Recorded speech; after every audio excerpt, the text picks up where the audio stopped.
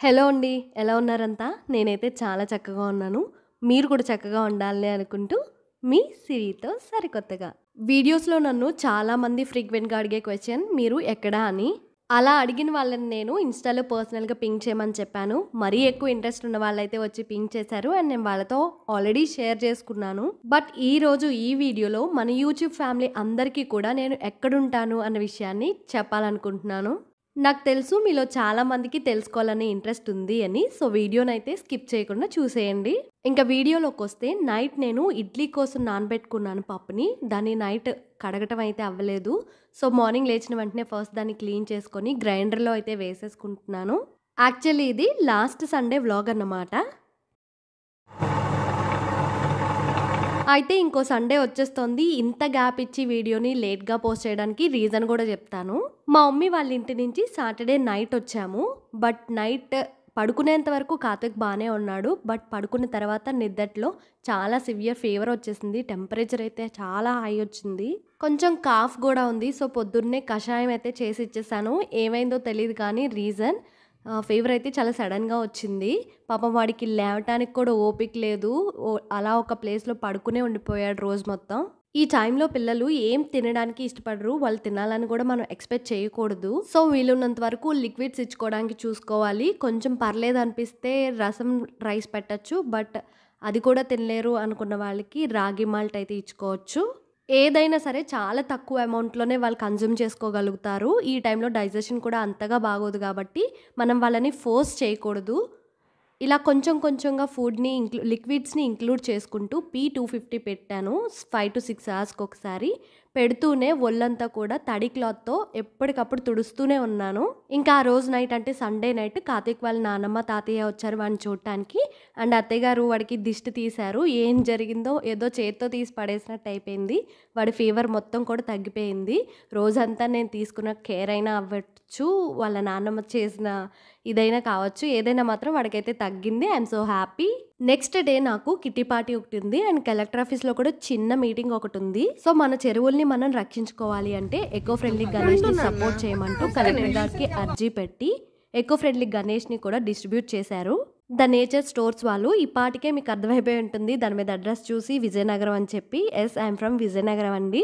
మీలో ఎవరైనా విజయనగరంలో ఉన్నవాళ్ళైతే గనక నేచర్ స్టోర్స్ వాళ్ళు ఫ్రీగా గణేష్‌ని డిస్ట్రిబ్యూట్ చేస్తున్నారు. ఈ సండే 8-10 వరకు ఎవరైనా వెళ్ళి కలెక్ట్ చేసుకోవచ్చు.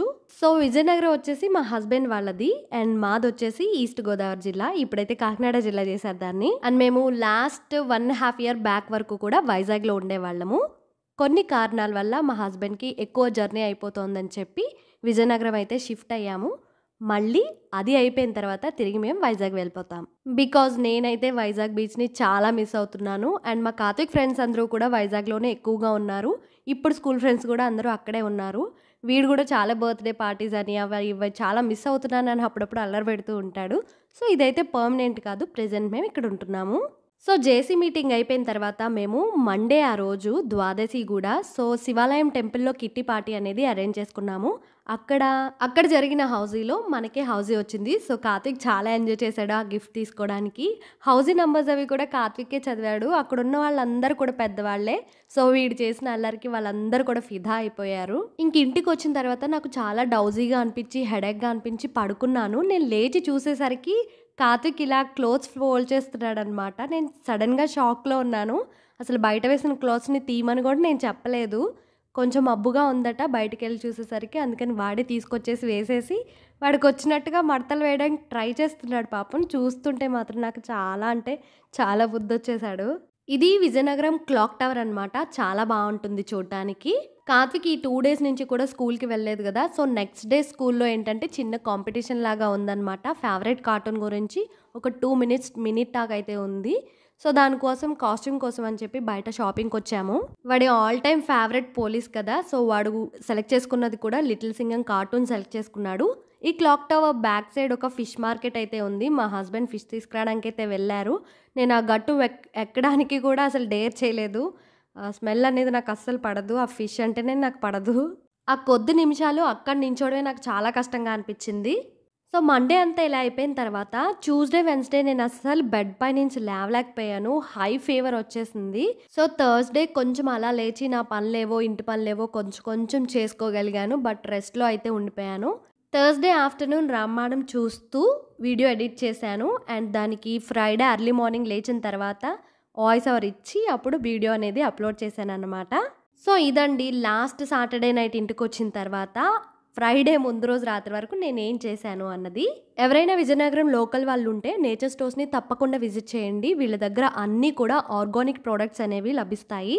ఇదేదో ప్రమోషన్ వీడియో అనుకున్నారు. ఇది జస్ట్ నా ఇంట్రెస్ట్తో చెప్తున్నాను అంతే. Thank you so much for watching. Please give your thumbs up to show your love. Bye bye.